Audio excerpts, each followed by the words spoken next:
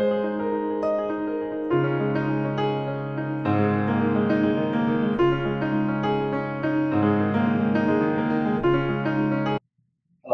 I'm Frank, and today we're going to go through the use of a nebulizer.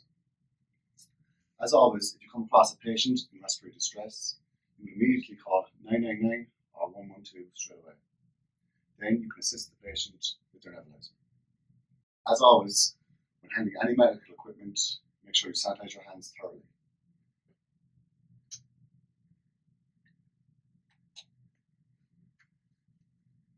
Once this is done, you can then proceed to assembling your equipment. The air compressor, the air hose complete with medicine cup, the nebulizer mask, and of course your medication.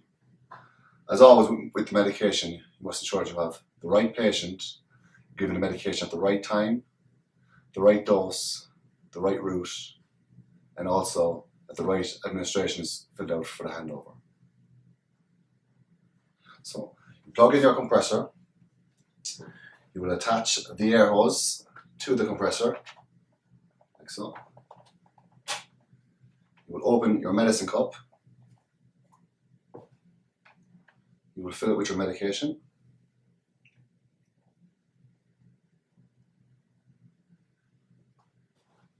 Close the medicine cup hand tight to avoid any spills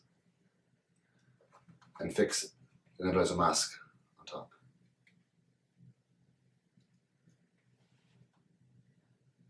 Next, you will place your nebulizer mask over the patient, covering the patient's nose and mouth, securing it with the headband over the patient's head.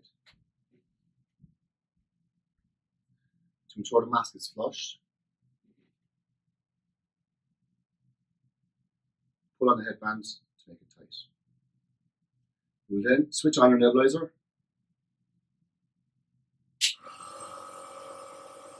and encourage the patient to take deep breaths in until all the medication is gone.